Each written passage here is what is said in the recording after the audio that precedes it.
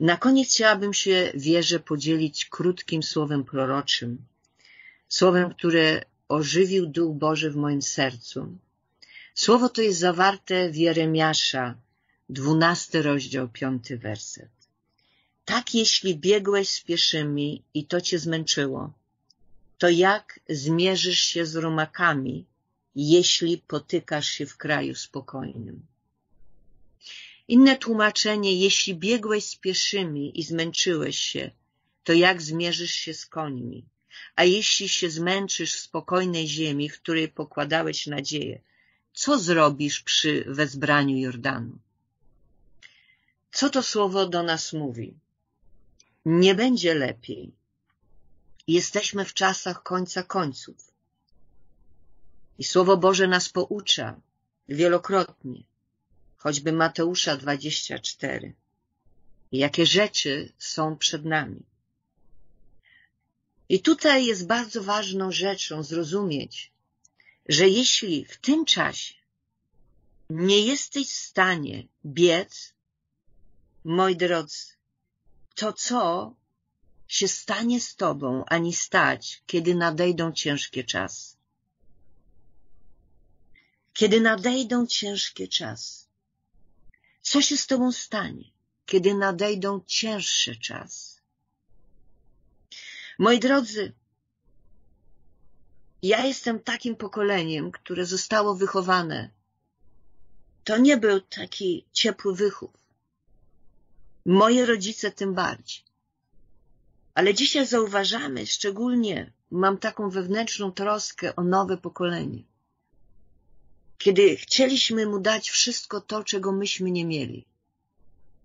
Albo rodzice nie byli nam w stanie tego dać.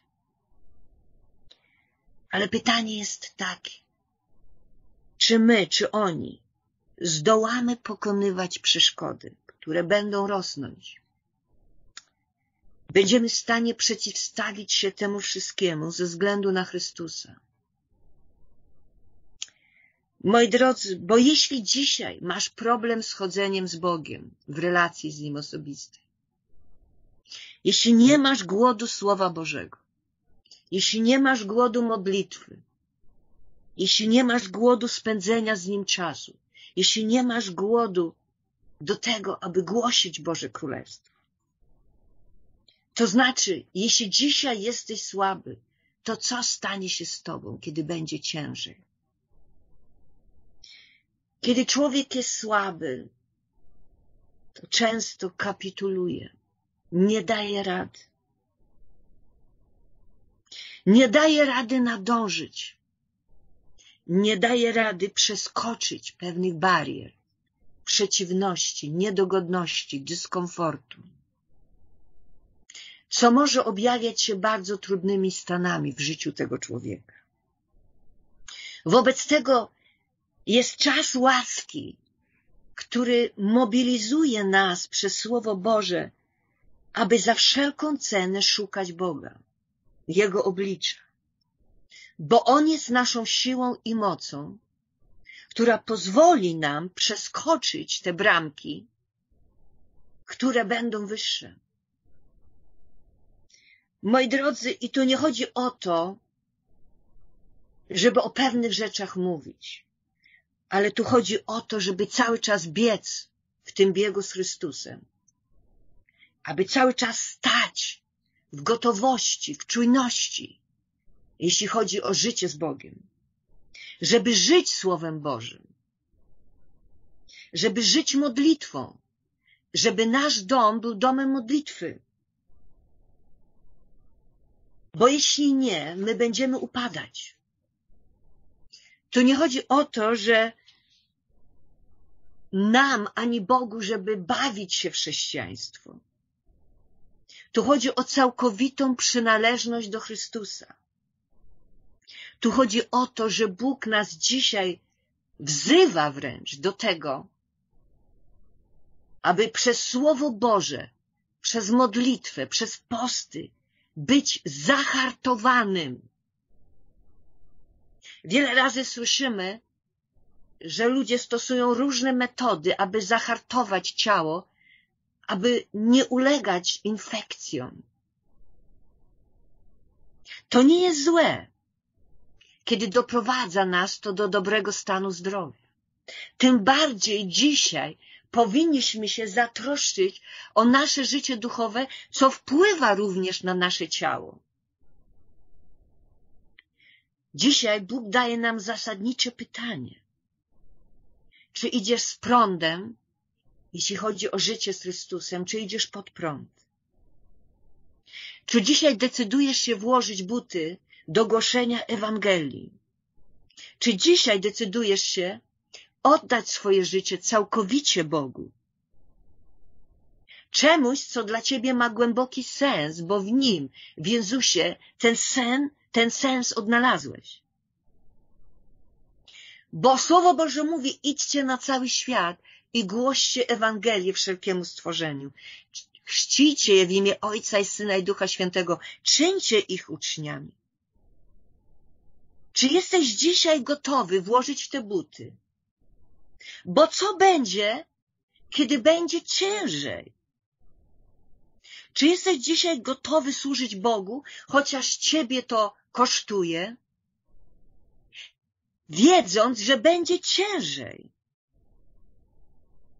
Kiedy chcesz dobrze wyglądać, idziesz po prostu i ćwiczysz. Tym bardziej Bóg zaprasza ciebie, abyś ćwiczył te mięśnie duchowe, abyś był w stanie podnosić większe ciężary, które idą na nas.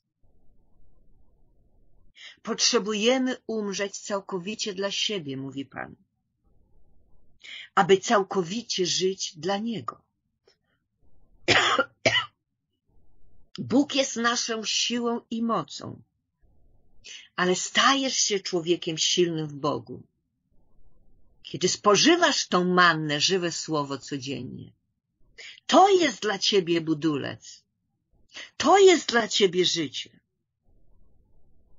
Tu chodzi o to, abyś zrozumiał dzisiaj konsekwencje, jeśli nie nauczysz się biegać i stać wytrwale w Bogu. Jutro może być dla ciebie bardzo bolesne.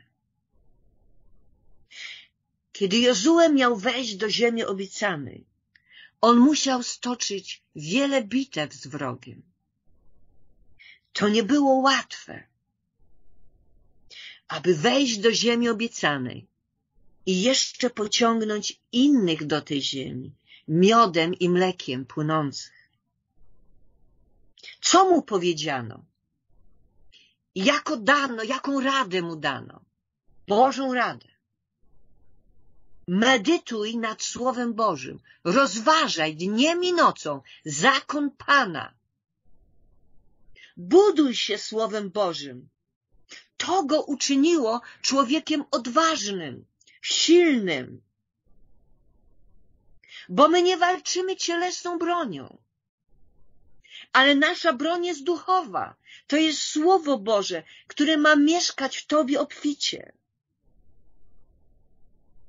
Powiedziano do Niego, Słowo Boże mówi. Bóg powiedział, bądź mocny i dzielny. Ale On też powiedział, rozważaj dniem i nocą Słowo Boże. Moi drodzy, zachęcam Was. Otwórzmy na koniec Rzymian. List do Rzymian. Dwunasty rozdział, który mówi, apostoł Paweł, Bóg przez niego, zachęcam was, bracia, ze względu na Boże miłosierdzie, abyście oddali swoje ciała na ofiarę żywą, świętą, miłą Bogu, jako wyraz waszej rozumnej, wypływającej z głębi ducha służby. Nie podporządkowujcie się już wzorcom tego wieku. Niech was przeobraża nowy sposób myślenia, abyście potrafili rozpoznać, co jest Bożą wolą, co jest dobre, przyjemne i doskonałe. Moi drodzy, czy jesteś dzisiaj gotowy stać się dla Boga ofiarą miłą, świętą, którą Bóg akceptuje, w której ma upodobanie.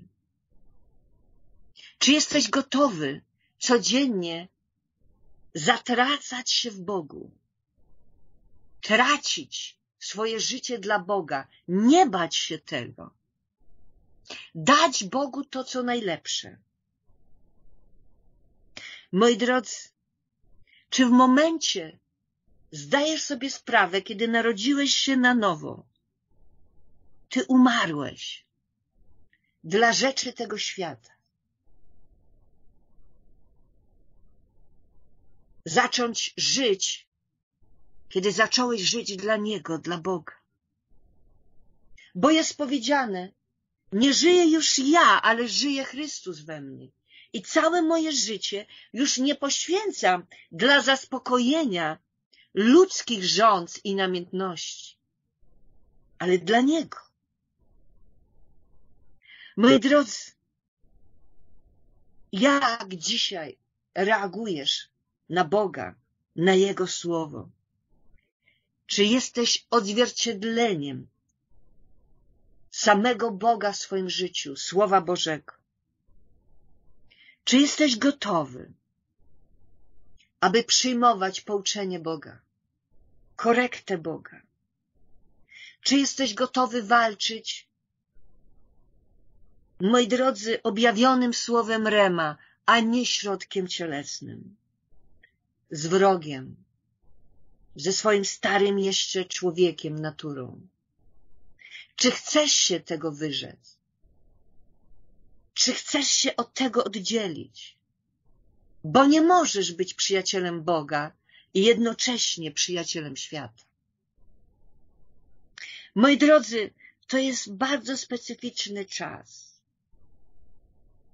Duch Boży chce poprzez swoje słowo ożywiać nasze życie. Chce zapraszać nas do komory.